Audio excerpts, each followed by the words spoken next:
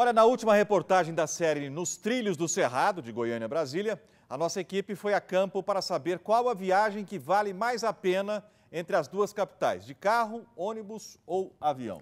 Para fazer essa conta é preciso colocar tudo no papel: gasolina, pedágio, passagens, o tempo perdido no aeroporto, tudo isso pesa no final. E o resultado você vai ver agora com o repórter Paulo Henrique Santos e o cinegrafista André Lacerda.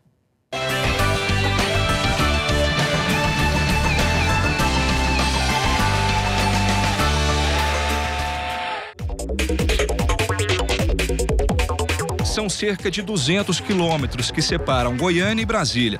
Hoje é possível fazer esse trajeto de duas maneiras: por estradas da malha rodoviária ou voando com transporte aéreo. Mas qual é a melhor forma de se deslocar entre as duas cidades? É isso que vamos saber a partir de agora. Primeiro, a viagem de carro. O nosso ponto de partida vai ser na Praça Universitária, aqui em Goiânia. Vocês podem ver agora, 11 horas e 30 minutos, a hora de partida. E olha só, o tanque do carro está cheio, a gente abasteceu com gasolina e o odômetro também está zerado. Tudo isso para a gente saber exatamente quanto custa e quanto tempo leva viajar de carro para Brasília. É isso que a gente vai saber agora. Vamos lá?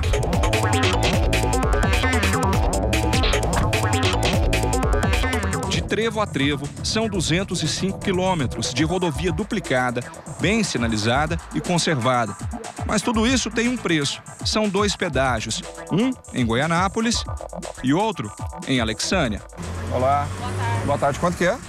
4,90. 4,90. O limite de velocidade é de 110 km por hora, com várias reduções nos perímetros urbanos da rodovia. São 2 horas e 30 minutos. A gente estacionou o carro aqui no eixo monumental de Brasília. A gente está a poucos metros do Congresso, também da rodoviária aqui da cidade. Agora é preciso fazer as contas para saber quanto é que custa essa viagem. Então vamos lá. Saímos de Goiânia 11h30 da manhã e chegamos em Brasília 2h30 da tarde, ou seja, 3 horas de viagem. Gastamos R$ 61,17 de combustível, mais dois pedágios de R$ 4,90 e R$ 3,60. Total da viagem, R$ 69,67. Agora vamos comparar com o trajeto feito também pela rodovia, mas de ônibus. Nosso ponto de partida vai ser a rodoviária de Goiânia. O bilhete já está aqui na mão. Nosso ônibus sai ao meio-dia, mas por conta dos procedimentos, a gente chegou meia hora antes, ou seja, 11h30 da manhã. O embarque de ônibus é rápido e sem burocracia. O próprio motorista é quem recepciona os passageiros. A previsão de chegada em Brasília é às 15h30. Pouco depois de meio-dia, já estamos na estrada. Este ônibus faz a rota sem paradas, mas nem todos são assim. Agora são 3 horas e 40 minutos, a gente acabou de chegar aqui em Brasília. A viagem foi muito tranquila e o próximo passo é fazer as contas. Viajar de ônibus para Brasília só tem um custo, o da passagem. A nossa custou R$ 40,32 por pessoa. O tempo total de viagem foi de 3 horas e 40 minutos. O último meio de transporte é o aéreo. Nesse caso, fizemos o trajeto inverso: Brasília-Goiânia, de avião. São 5 horas e 20 minutos da tarde, nós estamos no aeroporto de Brasília. Nosso voo sai daqui às 7 horas e 5 minutos. O embarque é feito 40 minutos antes, ou seja, às 6 horas e 25 minutos. A gente chegou com uma hora de antecedência para ter tempo suficiente para despachar bagagem, passar pelo raio-x. E é justamente esse processo que a gente vai mostrar a partir de agora. A saga começa no balcão de check-in na hora de despachar a bagagem. Depois, é preciso passar pelo procedimento de segurança nos aparelhos de raio-x antes de entrar na sala de embarque. Olha só, foi importante a gente ter chegado com uma hora de antecedência, porque a gente levou mais ou menos uns 40 minutos para despachar a bagagem e passar pelo raio-x. Agora a gente está na sala do embarque, que é uma zona segura do aeroporto, e aqui, olhando no painel, pelo menos até agora, nosso voo está no horário.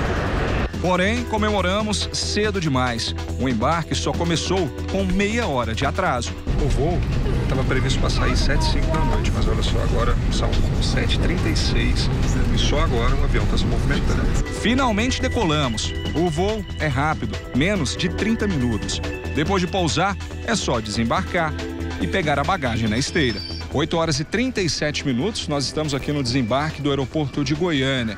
É uma distância muito curta que separa as duas cidades, Brasília e Goiânia, para uma viagem tão longa. Hora das contas. A passagem de avião foi comprada com uma semana de antecedência e custou incríveis 768 reais por passageiro.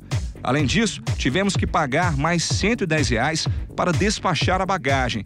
No total, a viagem custou 878 reais e durou 3 horas e 20 minutos. Poderia ser mais rápido se o voo não tivesse atrasado e não tivéssemos que despachar a mala. Na comparação, a viagem mais rápida entre Goiânia e Brasília atualmente é a de carro, que durou três horas. A mais barata para uma pessoa é a de ônibus, que custou 40 reais. Mas se a ideia for compartilhar o custo com mais pessoas, a viagem de carro também é a mais barata, já que dividindo por cinco pessoas, o custo cai para apenas 14 reais. Quando o trem de média velocidade entre Goiânia e Brasília sair do papel, teremos mais um modal na disputa: o ferroviário. A previsão é que a viagem dure em torno de uma hora e custe entre 80 e 100 reais.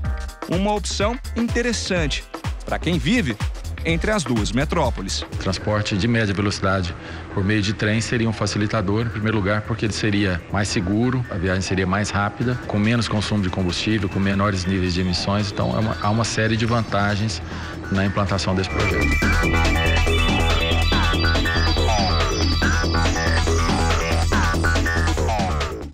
Comparação legal, hein? Para quem é. que a gente tem que apresentar essa reportagem para o trem sair? o governo, né? Não é? a, a, viagem de carro para Brasília tem um inconveniente que é a, as diferenças de velocidade. Tem lombada de 40, 60, 80 e 110. Se distrai Se um distrai pouquinho. um pouquinho, vai ser multada. Aí essa, essa, essa a viagem essa custaria? X, vai custar X, X, Y, mais X.